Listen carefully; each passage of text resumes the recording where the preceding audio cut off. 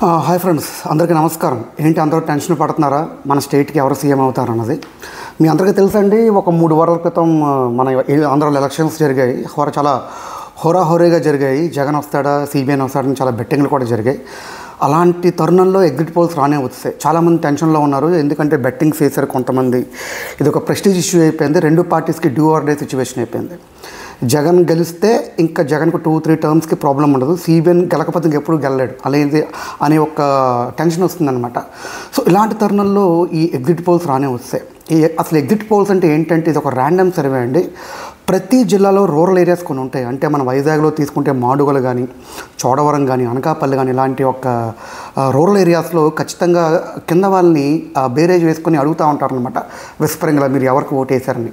అర్బన్లో అంతగా ఎక్కువ చెప్పరు. ఎన్నో దృశ్య ఎన్నో దాని వల్ల. బట్ రూరల్లో కొన్ని ఏరియాస్లో చెప్తారు. దీన్ని మనం ఎగ్జిట్ పోల్స్ లాగా తీసి క్రోడీకరించి కోడింగ్ చేసి ఎవరిసారో చెప్తారు. ఇది రకరకాల లెవెల్స్లో ఉంటుంది. జిల్లా వ్యవస్థలో ఉంటుంది రాష్ట్ర వ్యవస్థలో ఉంటుంది అలాగే దేశాభి వ్యవస్థలో కూడా ఉంటుందండి. చాలా పెద్ద పెద్ద సర్వే ఆఫీసెస్ ఉన్నాయి.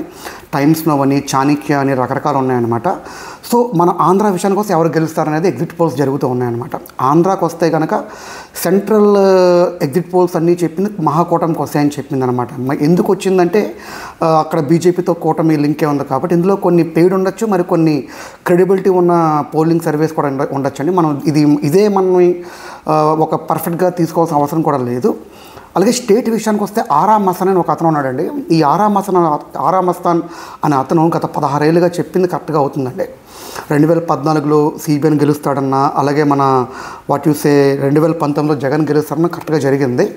ఆర్ అనేది ఒక ఊరి పేరు మస్తాన్ అతని పేరు అనమాట అతను ఏం చెప్పాడంటే వైసీపీ అంటే జగన్ మళ్ళీ సీఎంగా అయ్యే ఛాన్సెస్ ఎక్కువ ఉన్నాయని చెప్పాడు. One nought two to one twenty seats వరకు రావచ్చని చెప్పాడనమాట అలాగే చంద్రబాబు నాయుడుకి seventy to eighty five seats వస్తాయని చెప్తున్నారు. దాంతోపాటు ఈసారి పవన్ కళ్యాణ్ గెలుస్తాడని చెప్పారు భారీ మెజారిటీతో పిఠాపురంలో.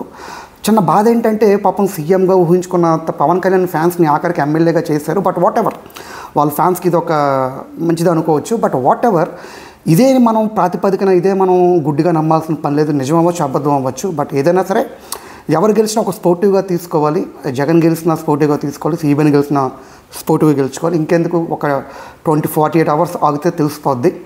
జగన్ అనే నేను అని వైజాగ్ నుంచి జగన్ సీఎంగా చూస్తామా? సీబీఎన్ అనే నేను అమరావతి నుంచి సీబీఎన్ని సీఎంగా చూద్దాం అనేది మరికొన్ని గంటల్లో తెర దిగి ఐ మీన్ తెర దిగిపోయే ఛాన్స్ చాలా ఉంది. సో కాబట్టి ముందే ఎందుకు మనం కోయిల్ని కూపి కూ- కూసేయాలి? దాన్ని కూయిపించి ఎందుకు కోసేయాలి?